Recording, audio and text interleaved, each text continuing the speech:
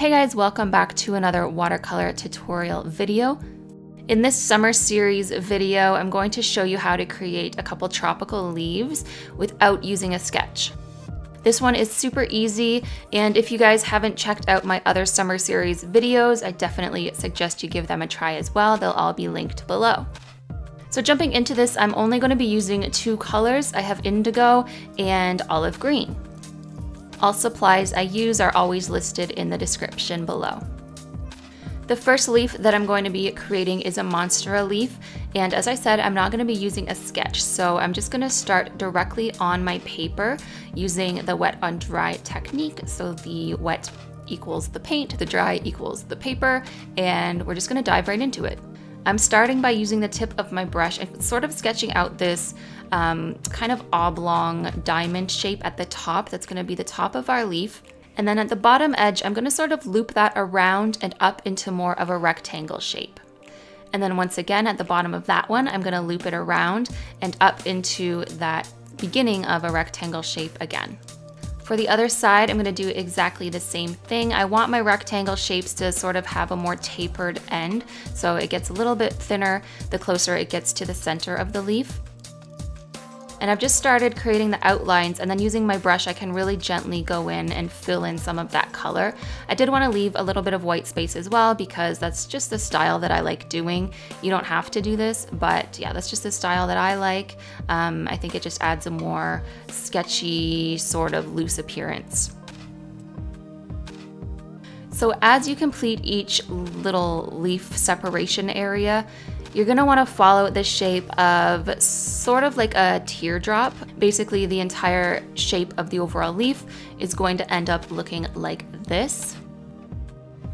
So if you can keep that shape in mind as you're creating each little section of leaf area, whatever you wanna call it, um, that's really gonna help you sort of curve those edges around that shape as you go.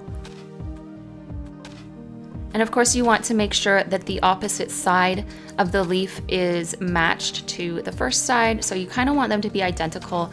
The widths and the shapes of each little section does not have to be the same, but generally there should be the same number of splits in the leaf.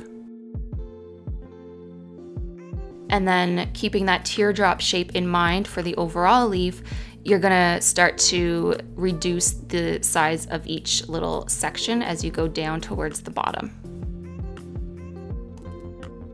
I'm just dropping in a little bit more color here to fill out some of those areas just a little bit more. And also this is gonna help keep the paint wet because we don't really want it to necessarily dry right away um, in case we want to add in a little bit more color to a wet on wet surface. So I just wanna keep that damp.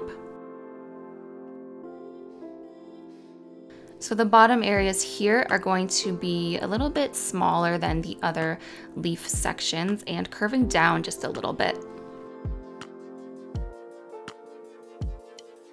I actually found Monstera leaves to be a little bit difficult to draw from memory in the beginning because I wasn't sure where things went, but once I kind of started picturing the whole thing as that teardrop shape and then just visualizing where the leaf splits would go, it makes it so much easier. So I've just added in a small little thin stem using the tip of my brush now I'm taking a little bit of the indigo and I'm just putting that into different areas that I feel I want a little bit more color.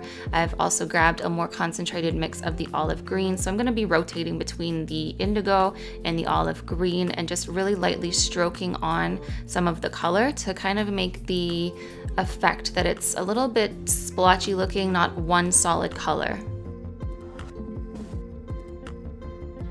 And you can also see that because we kept that paint wet um, by adding in that sort of more wet solid layer, the colors that I'm adding now are able to blend out nicely.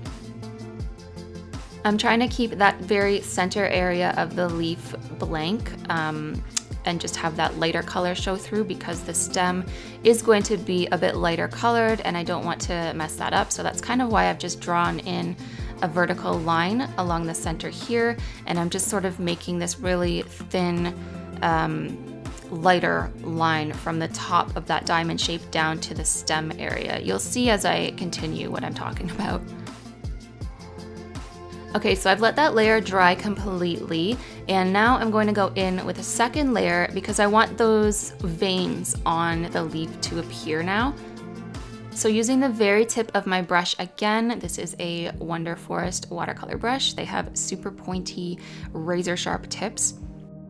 I'm just going to use it to define that middle stem area. So I'm going to sort of push the color along each of these sections, but I'm gonna try to avoid that very center area. It's just gonna be like a couple millimeters wide um, of this lighter stem area down the center of the leaf and as well as down each of the little sections. You'll see as I go along how I just leave that little bit of white space underneath.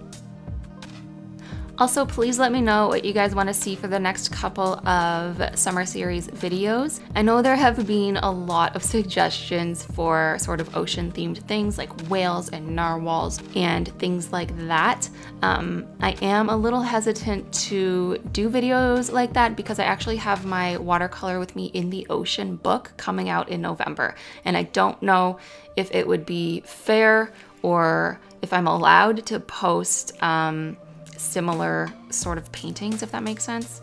The link to pre-order that book is going to be below as well, but that book, I mean, you guys are going to love it, especially if you love ocean life and summery themed things. That book is going to be amazing for you. I'm so proud of it. So if you want more of these, um, definitely check that out. So you can see that I have left some of those little white space areas that I had put in on the first layer. And I really like how those look. It kind of acts as a little bit of a highlight. So you can see better now what I was talking about by leaving that little bit of very small, um, couple millimeter size stem veins in each of the little sections.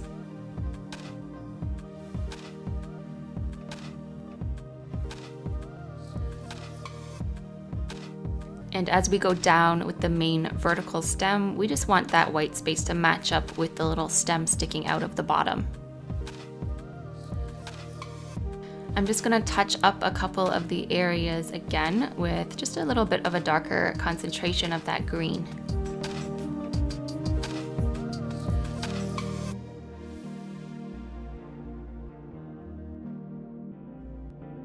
So here is my finished Monstera leaf. I'm now gonna show you guys how to create another leaf to kind of pull this piece together just because when I painted this, it was sort of off center and that really bothers me. So I wanted to create something to sort of balance it out. So to make this a little bit easier, I have rotated my paper upside down and I'm just mixing up a little bit of indigo with that same um, olive green color and I'm just deciding where I want this leaf to go and how I want it to sort of wrap around the other one.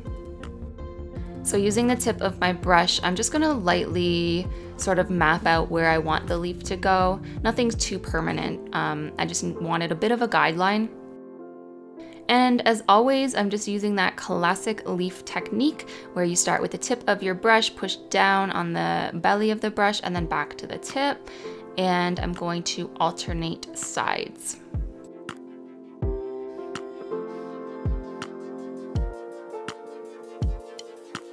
So for the position of this one, I wanted it to look like it was kind of behind the other leaf and kind of wrapping around. So I wanted the leaf shapes to flow with the whole rounded um, kind of composition. So you'll notice that the leaves, as I start going down, they're gonna be angled upwards and a little bit more to the right.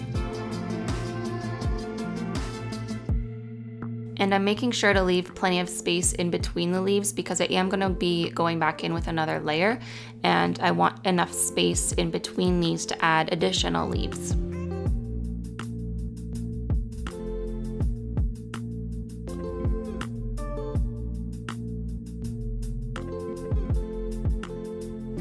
So with the top of this layer pretty much dry, I'm gonna go back in now with another layer and I'm gonna fill in some of those blank spaces that I left previously. And I'm gonna try to vary my color just a little bit. So I might add a little bit more of the indigo. I might use a little bit more green, just depending on where the next leaf is gonna go. I want it to kind of stand out from the one that it's overlapping.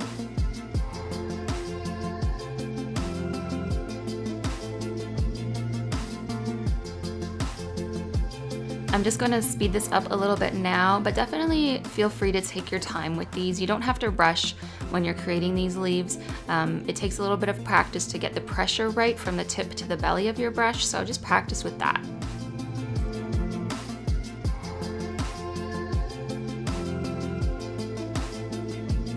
Now I'm just going to go in and darken some of the bases of those leaves and the stem a little bit more just by adding in a little bit more of the same color.